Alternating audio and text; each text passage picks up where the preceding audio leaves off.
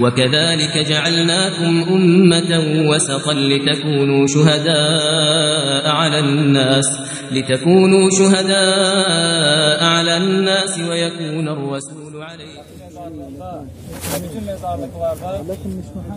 ممكن تكون اقصى واحد. ممكن تكون اقصى واحد. ممكن تكون اقصى واحد. ممكن تكون اقصى واحد. ممكن تكون اقصى واحد.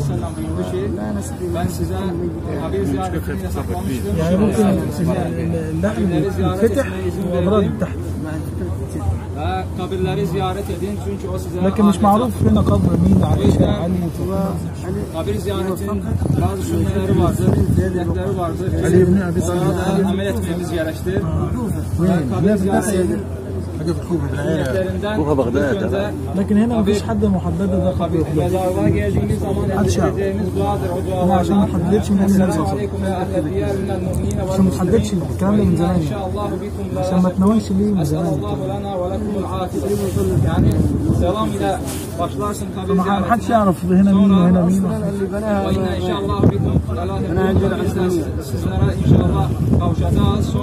وإن إن محدش يعرف اي النبي صلى الله عليه وسلم تنويس لقبر فاطمه لقبر عائشه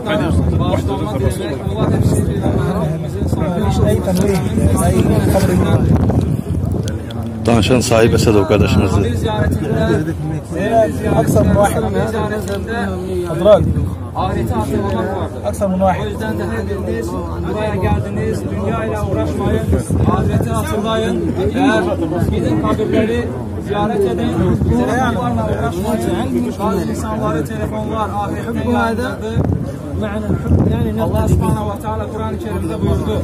Kullu nefsin zâikatul mevt. Her bir nefs ölümü tadacaktır. Ve innemâ tuvaffavne ucurakum yevmel kıyame. Ve sizden her biriniz amellerinizin karşılığını göreceksiniz. Və sonra Allah subhanahu wa ta'ala buyuruyor, buyurdu ki, və mən zuxsiya anil nər və cənnə və qəd fəz və cəhənnəmdən uzaqlaşdırılıb, cənnətə yaxınlaşdırılan kimsə, o kimsə artıq nicata ermişdir. Sonra İsmail söyledi ki, və məl həyatü dünya illə mətəul qurur.